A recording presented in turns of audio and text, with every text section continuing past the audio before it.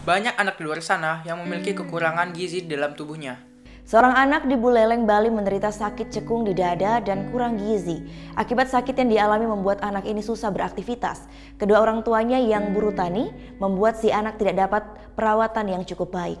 Kekurangan gizi atau malnutrisi memiliki dampak buruk bagi perkembangan dan kesehatan tubuh.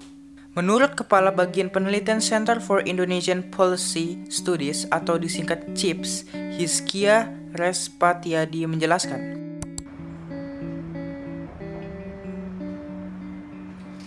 Hello there, my name is Kia. I'm from Center for Indonesian Policy Studies.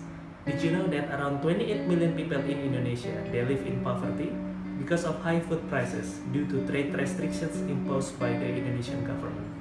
Which is why we, through our project called AFP or Affordable Food for the Poor, we would like to cooperate with the government and also to educate university students about this current issue. And which is why in our campaign we will write several policy papers and we are also going to create a massive movement so we could encourage all relevant policymakers to create a better and more liberalized food trade policy in Indonesia. And we are not going to be doing this alone because we are unable to reach the success, which is why we will require your support. And together, we can make a better future for many Indonesian people. Thank you so much. Kekurangan vitamin A dapat menyebabkan beberapa hal, di antaranya adalah gangguan penglihatan, menurunnya daya tahan tubuh dan mengganggu perkembangan janin. Karena tidak diproduksi oleh tubuh, kita harus mendapatkan asupannya melalui makanan. Makanan yang mengandung vitamin A antara lain adalah wortel, tomat, bayam, cabai merah, sereal, apel, dan pisang.